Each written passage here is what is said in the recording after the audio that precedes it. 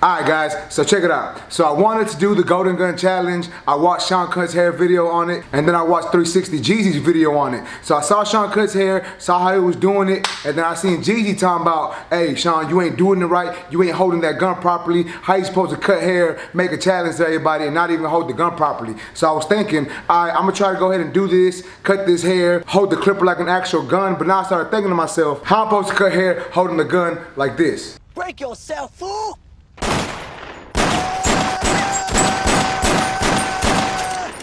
Y'all let me know how I'm supposed to cut the hair. I guess if I just, I don't know. But nonetheless, guys, uh, let's go ahead and get into this video. It's your boy Tank Be Choppin. This is the Golden Gun Haircut Challenge.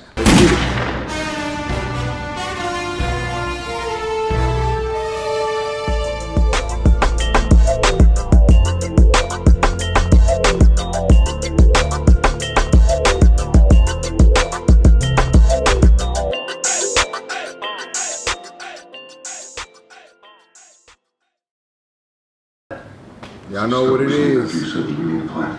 Okay, Mr. Green's on his own page. See, not winging it isn't really what they do. Ah, what exactly is it that they do? kick names, Let's take go. gas. Yeah. Nevertheless, because if all we come out of this is like the attitude, Dude, don't call us blunt.